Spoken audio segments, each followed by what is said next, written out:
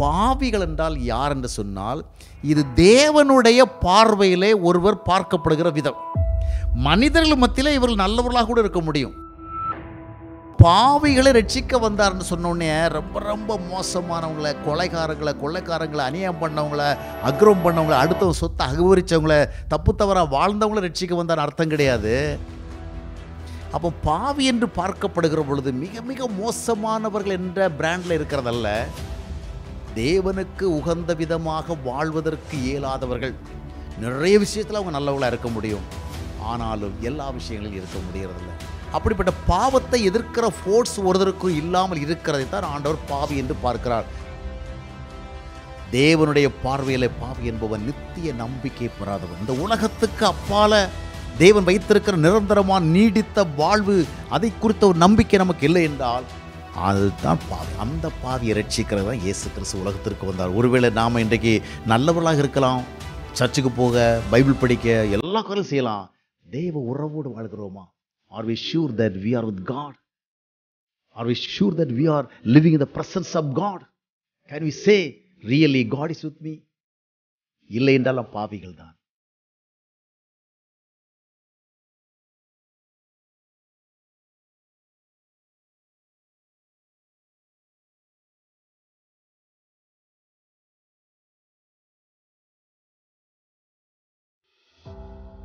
கிறிஸ்துவுக்குள் அன்பானவர்களே கர்த்தருடைய நாமத்தில் உங்களை மிகுந்த மகிழ்ச்சியோடு வாழ்த்துகிறேன். கர்த்தர் உங்களோடு இருப்பாராக உங்களை ஆசீர்வதிப்பாராக. ஒன்று திமுத்தை ஒன்றாம் மத்தியத்தினுடைய பதினைந்தாம் வசனத்தை வாசித்து பார்க்கும் பொழுது பாவிகளை ரட்சிக்க கிறிஸ்து இயேசு உலகத்தில் வந்தார். பாவிகளை Jesus came to this world to save the sinners கிறிஸ்தவ நண்பர் ஒருவர் தனக்கு தெரிந்த இன்னொரு மதத்தை சார்ந்த ஒரு நண்பரிடத்தில் காஸ்பல் சொல்ல வேண்டும் என்று சொல்லி இந்த விதமாக இயேசு கிறிஸ்து பாவிகளை ரட்சிக்க வந்தார். அவரை ஏற்றுக்கொண்டால் பாவமெல்லாம் நீங்கிடும் பரிசுத்தமாயிடலாம் பரலோகம் போகலாம் அப்படின்னு நிறைய காரியங்களை சொன்னார். குறிப்பாக பாவிகளை ரட்சிக்க இயேசு கிறிஸ்து வந்தார்னு சொன்னார். உடனே அவர் வந்து ரொம்ப சந்தோஷம். ரொம்ப பாராட்ட வேண்டிய ஒரு விஷயம். நிச்சயமாக பாவிகளை ரட்சிக்கிறதுக்கு ஆள் தேவைதான். அப்போது இயேசு கிறிஸ்து வந்தது ரொம்ப நல்ல ஒரு விஷயம் தான் நான் உண்மையில் அதை அப்ரிசியேட் பண்ணுறேன் எந்த மதமாக இருந்தால் என்ன? பாவிகளை ரட்சிக்கிறதுக்கு இங்கே யாரும் கிடையாது. அதனால் இயேசு கிறிஸ்து வந்தானே ரொம்ப சந்தோஷமான விஷயம் அப்படின்னார். அந்த விதமாக பேசி கொண்டிருக்கிற பொழுது இவர் சொன்னார் நீங்களும் இயேசு கிறிஸ்துவை ஏற்றுக்கொள்ளுங்கள். அது உங்களுக்கு ஆசீர்வாதமாக இருக்கும். உடனே அவர் கோபம் வந்துச்சு. பார்த்தியா ஆட்டை கடிச்சு மாட்டை கடிச்சு ஆளை கடிக்க வந்துட்டு பார்த்தியா பாவிகளை ரட்சிக்க இயேசு கிறிஸ்து வந்தார். It's okay. என்னை அதுக்கு ஏற்றுக்கொள்ள சொல்கிற நான் பாவியா? ஒரு பாவத்தை நீ சொல்ல முடியுமா எங்ககிட்ட நான் எந்த அளவுக்கு ஒழுக்கமாக எவ்வளவு நேர்மையாக நீதியாக நாணயமாக வாழ்ந்துட்டு இருக்கிறேன்? பாவிகளை ரட்சிக்க இயேசுநாதர் வந்தார். அவர்களை ரட்சித்து போட்டோம். என்ன போய் நீ பாவின்னு சொன்ன? ஆ இவ்வளோ நேரம் நான் ஒழுங்காக பேசிகிட்டு இருந்தேன். இதுக்கு மேலே இந்த மாதிரி பேசினா எனக்கு பிடிக்காது அப்படின்ட்டு கோவிச்சுக்கிட்டார். காரணம் என்னவென்றால் பாவிங்கிற வார்த்தையை கேட்டோன்னே அவருக்கு ரொம்ப வருத்தம். ஏனென்றால் நம்ம சமுதாயத்தில் பெரும்பாலும் பாவின்னு சொன்னால் இப்போ ஒருத்தருக்கு ஒருத்தர் ஏதாவது ஒரு விஷயத்தில் கொஞ்சம் மன வருத்தப்படலாம் அட பாவி அப்படி சொல்லுவாங்கள்ல அப்படின்னா பாவினா மிக மோசமானவங்கன்னு அர்த்தம். ரொம்ப மட்டமானவங்க தவறானவங்க இப்படி தான் சமுதாயத்தில் பாவி என்றால் சிந்திக்கப்படுகிறது. ஆனால் வேதாகமத்தில் அவ்விதமாக அல்ல. பாவி என்று ஏன் சொல்லப்படுகிறன்னு சொன்னால் ஒருத்தர் ரொம்ப ரொம்ப மோசமாக இருக்கிறார் என்ற அடிப்படையில் அல்ல. அதை புரிந்து கொள்ள வேண்டும். பாவிகளை ரட்சிக்க கிறிஸ்தியசு உலகத்திற்கு வந்தார். மற்ற ஒன்றாம் மத்திய இருபத்தொன்றாம் வசதி வாஸ்து பார்க்கும்பொழுது இவருக்கு இயேசு கிறிஸ்து இயேசு என்று பெயரிடுங்கள். ஏனென்றால் இவர் என்ன செய்ய போகிறார்? தன்னுடைய ஜனங்களுடைய பாவங்களை நீக்கி அவர்களை ரட்சிக்கப் போகிறார். அவ்விதமாக சொல்லப்பட்டிருக்கும். அப்போது பாவிகளை ரட்சிக்க வந்தார்னு சொன்னோடனே ரொம்ப ரொம்ப மோசமானவங்களை கொலைகாரங்களை கொள்ளைக்காரங்களை அநியாயம் பண்ணவங்கள அக்ரம் பண்ணவங்கள அடுத்தவங்க சொத்தை அகவரித்தவங்கள தப்பு தவறாக வாழ்ந்தவங்கள ரட்சிக்க வந்தார் அர்த்தம் கிடையாது. பாவிகள் என்றால் யார் என்று சொன்னால் இது தேவனுடைய பார்வையிலே ஒருவர் பார்க்கப்படுகிற விதம். மனிதர்கள் மத்தியில் இவர்கள் நல்லவர்களாக கூட இருக்க முடியும். நியாயமானவர்களாக இருக்க முடியும். ஆன்மீகவாதிகளாக இருக்க முடியும். சிலர் பற்றி நல்ல பக்தியாக இருப்பாங்க. நல்ல ஒழுக்கமாக இருப்பாங்க. மனிதர்கள் மத்தியில் அவங்கள யாரும் தப்பு சொல்ல முடியாது. செயின்ட் மாதிரி இருப்பாங்க. ஆனால் பாவி என்று சொல்லப்படுவது இது ஒரு ரிலிஜியஸ் டைம் அதாவது தேவனுடைய பார்வையில் உலகத்தில் இருக்கிற மக்கள் எவ்விதமாக பார்க்கப்படுகிறார்கள்? அதாவது how the human beings are viewed by God தேவனால் இப்படி பார்க்கப்படுகிறார் என்ற அடிப்படை. ஏனென்றால் நீங்கள் எக்ஸ்ரேக்கு முன்னாடி போனீங்கன்னா உங்களை ஒரு விதமாக காண்பிக்கும். இல்லைன்னா அதுக்கு முன்னாடி ஒரு கண்ணாடிக்கு முன்னாடி போயினா அது உங்களை எப்படி காண்பிக்குது? ஒரு குறிப்பிட்ட விதமாக ப காண்பிக்குது. அப்படி என்ன அர்த்தம்? கண்ணாடி உங்களை இந்த கோலத்தில் பார்க்கிறது. அதற்கு அப்பால் எக்ஸ்ரேக்கு முன்னால் போனீங்கன்னா இன்னும் உங்கள்கிட்ட ஏதாவது கொஞ்சம் பிரச்சனை இருந்தால் அந்த பிரச்சனை இருக்கிற இடத்த என்ன செய்யும்? அது காண்பிக்கும். அப்படின்னா எக்ஸ்ரே உங்களை விதமாக பார்க்கிறது. ஆனால் நீங்கள் ஒரு ஸ்கேனர் அதை ஸ்கேன் மிஷின்குள்ளே போகிறீங்க ஒரு எம்ஆர்ஐ ஸ்கேன் பண்ணுறதுக்காக ஒரு சிடி ஸ்கேன் பண்ணுறதுக்காக போகும் பொழுது அது உங்களுடைய மிக மிக மோசமாக காண்பிக்கும். ஏன்னா உங்களுக்கு இருக்கிற எல்லா பிரச்சனைகளையும் அது ரொம்ப கிறிஸ்ட கிளியராக காண்பிக்கும். அப்போ தான் ரொம்பவும் நமக்கு வருத்தமாக இருக்கும். இதே போல தான் மனிதர்கள் நடுவில் நாம் நல்லவர்களாக இருக்க முடியும். மனிதர்கள் நடுவில் நம்ம ஆன்மீகவாதிகளாக இருக்க முடியும். மனிதர்கள் பற்றியில் ஒழுக்கமானவளாக இருக்க முடியும் நேர்மையாக இருக்க முடியும். ஆனால் பாவிகள் என்றால் தேவனுடைய பார்வையிலே நாம் எப்படி பார்க்கப்படுகிறோம்? அப்படி என்றால் தேவன் யாரை பாவிகளாக பார்க்கிறாருன்னா அப்படியே பார்த்துட்டு எவன் கொலை பண்ணியிருக்கான் எவன் அவன் கொள்ளை அடிச்சிருக்கிறான் எவன் ஏமாற்றியிருக்கிறான் ஏமாற்றி இருக்கிறான் எவன் மனைவிக்கு துரோகம் பண்ணியிருக்கிறான் யார் யார் கணவனுக்கு துரோகம் பண்ணியிருக்கிறாங்க யார் யார் அடுத்தவங்க சொத்தை அபகரிச்சிருக்காங்க இப்படி பார்த்தல்ல ஆண்டவர் பாவி என்று ஒருவனை டிசைட் பண்ணுறது தேவன் யாரை பாவி என்று பார்க்கிறார் என்றால் முதலாவது தேவனுடைய பார்வையில் யார் தேவ உறவு இல்லாமல் வாழ்கிறார்களோ அவர்கள்தான் பாவிகள். மனிதன் தேவ உறவோடு ப வாழ்வதற்கு தான் படைக்கப்பட்டான். அதைத்தான் வேதம் சொல்லுகிறது. இந்த புதிய ஏற்பாட்டில் வருகிற பொழுது தேவ உறவு தான் திருப்பி கொடுக்கப்படுகிறது ஆண்டவராக இயேசு கிறிஸ்து மூலமாக. அப்போ ஒரு மனிதன் எப்படி பாவியாக பார்க்கப்படுகிறான்னா அவன் ரொம்ப ரொம்ப மோசமானவனாக இருக்கிறதுக்காக அவன் நல்லவனாக கூட இருக்கலாம் ஆன்மீகவாதியாக இருக்கலாம். ஆனால் தேவ உறவு இல்லாதவராக இருந்தால் அந்த மனிதன் தேவனுடைய பார்வையில் தேவனுக்கு முன்பாக முழுமையானவன் அல்ல. ஏற்றுக்கொள்ளப்படத்தக்கவன் அல்ல. அவனைத்தான் ஆண்டவர் பாவி என்று பார்க்கிறார்.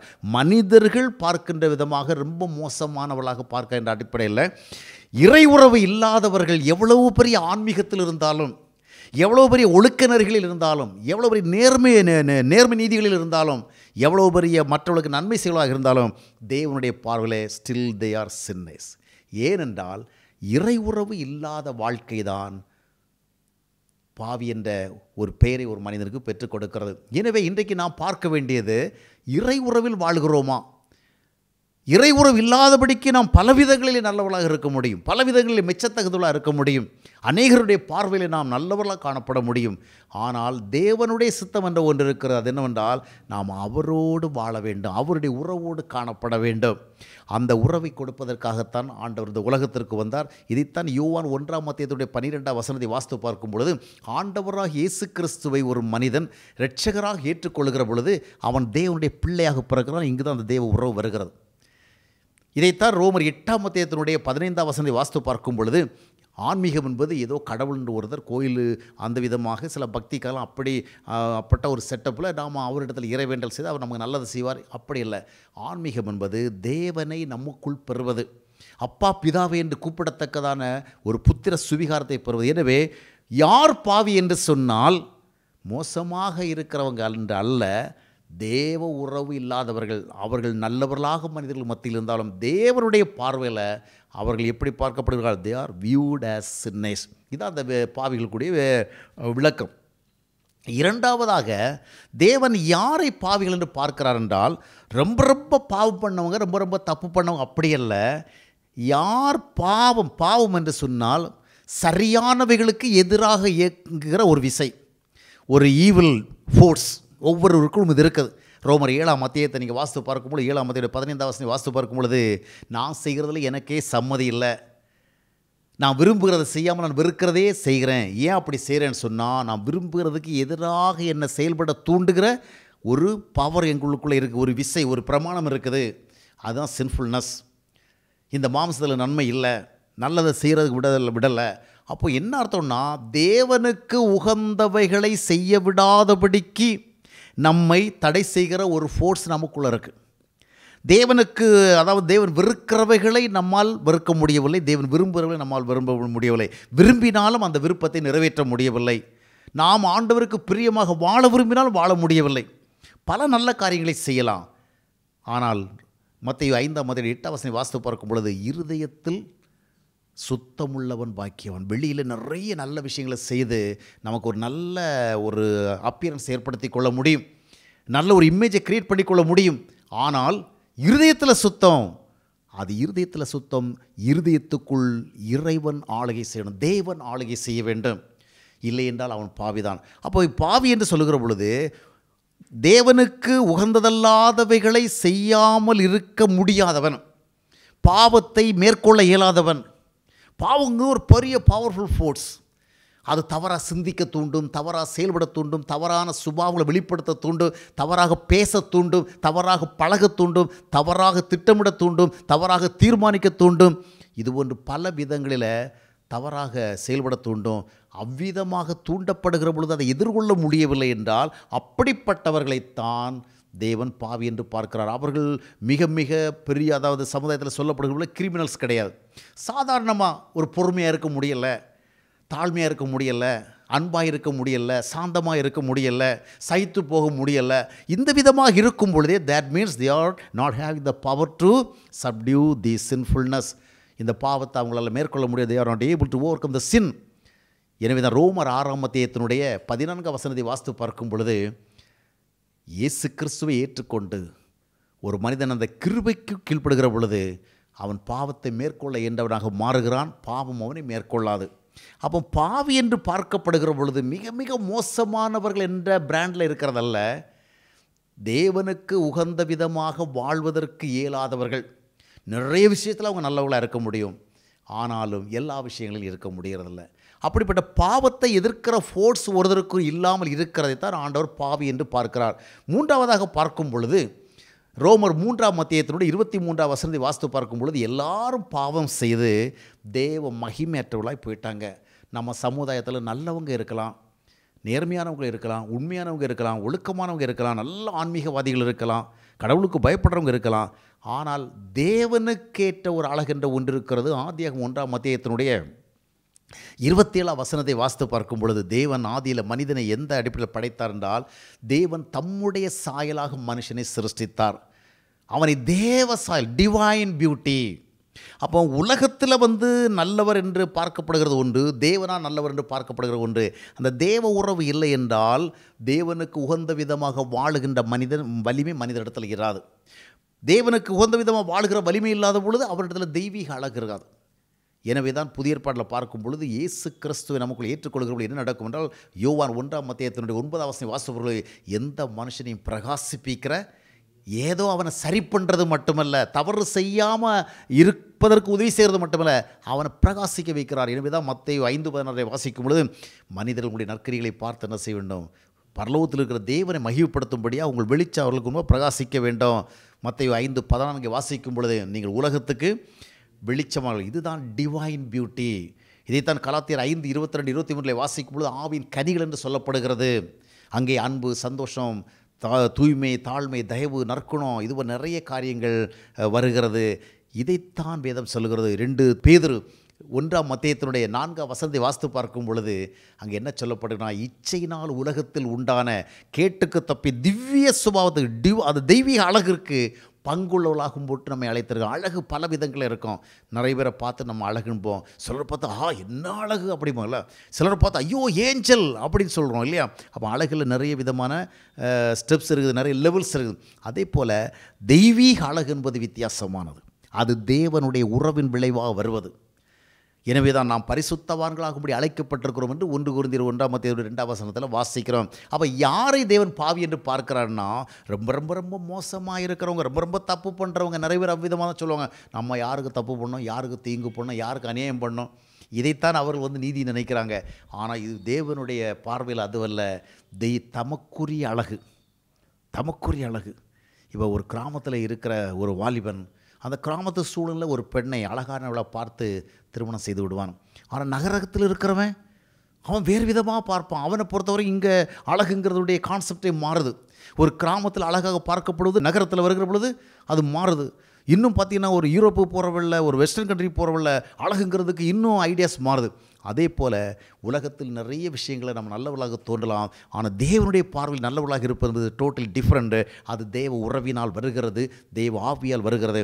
எனவே அந்த தேவ சாயல் இல்லை என்று சொன்னால் அவர்களைத்தான் ஆண்டவர் பாவியாக பார்க்கிறார். அப்போ தேவனுக்கேற்ற உயர்குண சுபாவங்கள் உயர்ந்த சுபாவங்கள் உயர்ந்த தன்மைகள் இவைகளை உடையவளாக வாழ்வது. இறுதியாக பார்க்கும் பொழுது யாரை தேவன் பாவியாக பார்க்கிறார் என்றால் இந்த உலகத்துக்கு அப்பாலே தேவன் வைத்திருக்கிற அழியாத நம்பிக்கையை பெற்றுக்கொள்ளாதவர்களை.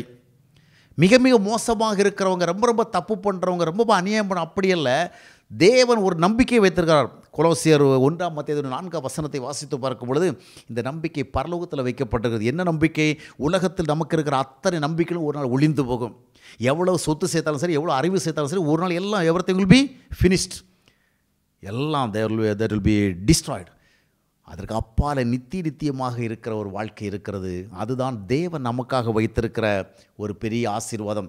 அந்த நம்பிக்கை கூடவா நாம் இருக்க வேண்டும். அந்த நம்பிக்கை தான் ஒன்று திமுத்தை ஒன்றாம் மத்தியத்தினுடைய ஒன்றாம் வசந்தி வாஸ்து பார்க்கும் பொழுது Jesus Christ is that hope அவரை நமக்குள் பெற்றுக்கிற பொழுது நாம் நித்திய நித்தியம் வாழுகிற கிருபை கிடைக்கிறது. ஆண்டவர் அதைத்தான் சொன்னார். யோவான் ஆறாம் மத்தியத்தினுடைய நாற்பத்தேழு வசந்தி வாஸ்தவம் பார்க்கும் பொழுது என்னிடத்தில் விசுவாசமாக இருக்கிறவனுக்கு நித்திய ஜீவன் உண்டு இன்னொரு பார்க்கும் பொழுது குமாரனை உடைய ஒன்றியோவான் ஐந்து பன்னிரெண்டு வாஸ்து பார்க்கும் பொழுது குமாரனை உடையவன் ஜீவனை உடையவன். அந்த ஜீவன் இந்த உலகத்தோடு மட்டுமல்ல இந்த உலகத்தை கடந்து செல்லும். இந்த நம்பிக்கை பெறாதவர்களைத்தான் ஆண்டவர் பாவி என்று பார்க்கிறார். மற்ற விதமாக நம்ம உலகம் பார்க்கறது போல் அவன் எவ்வளோ அநியாயம் பண்ணியிருக்கான் அப்போ அவன் பாவி. இவன் எவ்வளோ கொடுமை பண்ணியிருக்கான் இவன் பாவி. இவன் எத்தவருடைய பணத்தை திருடி இருக்கிறான் அதனால் பாவி. இவன் எவ்வளவு மோசமான சுபாவத்தோடு வாடுறான் அதனால் இவன் பாவி. அப்படி அல்ல. தேவனுடைய பார்வையில் பாவி என்பவன் நித்திய நம்பிக்கை பெறாதவன். இந்த உலகத்துக்கு அப்பால தேவன் வைத்திருக்கிற நிரந்தரமான நீடித்த வாழ்வு அதை குறித்த ஒரு நம்பிக்கை நமக்கு இல்லை என்றால் அதுதான் பாவி. அந்த பாவியை ரட்சிக்கிறது தான் இயேசு கிறிஸ்து உலகத்திற்கு வந்தார். ஒருவேளை நாம் இன்றைக்கு நல்லவர்களாக இருக்கலாம் சர்ச்சுக்கு போக பைபிள் படிக்க எல்லா காரியம் செய்யலாம். தெய்வ உறவோடு வாழ்கிறோமா? Are we sure that we are with God are we sure sure that we are living in the presence of God can we say really God is with me இல்லை என்றாலும் பாவிகள் தான். அந்த பாவிகளை ரட்சித்து தேவ உறவுடையவளாக்குவதற்கு இயேசு கிறிஸ்து உலகத்திற்கு வந்தார். இன்றைக்கு நம்ம நிறைய தப்புகள் மற்றவர்களை போல் செய்யாமல் இருக்கலாம். ஆனால் பொறுமை தாழ்மை உண்மை நேர்மை இது போன்ற விஷயங்களில் மன தூய்மை போன்ற காரியங்கள் எப்படி இருக்கிறோம்? அப்படி இல்லை என்றால் அங்கே என்ன பார்க்கணும் பாவத்தை எதிர்த்து நிற்க நமக்கு ஆற்றல் இல்லை. அப்பொழுது நாமும் பாவிகளாக இருக்கிறோம். மூன்றாவதாக தேவனுக்கேற்ற அழகு உலகத்துக்கேற்ற அழகு தேவனுக்கேற்ற அழகு. அந்த அழகு நான் தெய்வீக சுபாவங்கள் அந்த தெய்வீக சுபாவங்களை கொடுக்கத்தான் ஆண்டவராக இயேசு கிறிஸ்து உலகத்தில் வந்தார். அந்த சுபாவங்கள் இருக்கிற ஆராதனை இருக்கிறது ஜெபம் இருக்கிறது வழிபாடு இருக்கிறது உபவாசம் இருக்கிறது காணிக்க இருக்கிறது நிறைய நல்ல விஷயங்கள் இருக்கிறது. ஆனால் தெய்வீக சுபாவங்கள் இருக்கிறதா? இல்லை என்றால் இன்னும் நாம் பாவிகள் தான். இயேசு கிறிஸ்துவை ஏற்றுக்கொள்ள வேண்டிய தேவையில் இருக்கிறோம். நான்காவதாக நித்திய நம்பிக்கை குறித்த நிச்சயம் இருக்கிறதா? இன்றைக்கு இந்த உலகத்தை விட்டு நான் பிரிய நேர்ந்தாலும் ஆண்டவிடத்தில் போய் சேருவேன் அந்த நித்திய வாழ்வுக்கு போய் சேருங்கிறேன் என்கிற நம்பிக்கை இருக்கிறதா? அந்த நம்பிக்கை இல்லை என்றால் நாம் பாவிகள் தான். இந்த பாவியை ரட்சிக்கத்தான் இயேசு கிறிஸ்து வந்தார். அதற்காக தான் சிலுவையில் ரத்தத்தை சிந்தினார். ஜீவனை கொடுத்தார். அவர்தான் இன்றைக்கு நம்மை அழைக்கிறார். நாம் மிக மிக மோசமானவர்களாக இருக்கிறோம் என்ற அடிப்படையில் அல்ல தேவனுடைய பார்வையில் எப்படி இருக்கிறோம் அடிப்படையில்? எனவே நம்மிடத்தில் தேவ உறவில்லையா நம்மிடத்தில் தெய்வீக அதாவது பாவத்தை மேற்கொள்ளுகிற ஆற்றல் இல்லையா? நம்மிடத்தில் தெய்வீக அழகு இல்லையா? நித்திய வாழ்வை குறித்த நம்பிக்கை இல்லையா? நாம் எவ்வளோ ஆன்மீகத்தில் இருந்தாலும் ஏன் ஊழியர்களாக கூட இருக்கலாம்? இன்றைக்கு நமக்கு என்ன வேண்டும்? ரட்சிப்பு வேண்டும். அந்த ரட்சிப்பை கொடுக்க இயேசு கிறிஸ்து வந்தார். அவரை ஏற்றுக்கொள்வோம். அவரை ஏற்றுக்கொள்ளுகிற பொழுது உறவு வருகின்றது. உறவு வருகிற பொழுது பாவத்தை எதிர்க்கிற ஆற்றல் வருகிறது. பாவத்தை எதிர்க்கிற ஆற்றல் வருகிற தெய்வீக சுபாவங்கள் வருகிறது. அதோடு சேர்ந்து தெய்வீக நம்பிக்கை வருகிறது. ஆண்டுடைய ராஜ்யத்தில் ஒரு ஆள் சேருவோம். அவ்விதமான ஒரு அழைப்பை தாண்டர் கொடுக்கிறார். நாம் பாவியா இல்லையா என்பதை இந்த அடிப்படையில் புரிந்து கொண்டு கர்த்தருக்கு நம்மை ஒப்புக் கொடுப்போம் கர்த்தர் நம்மை ஆசிர்வதிப்பார்.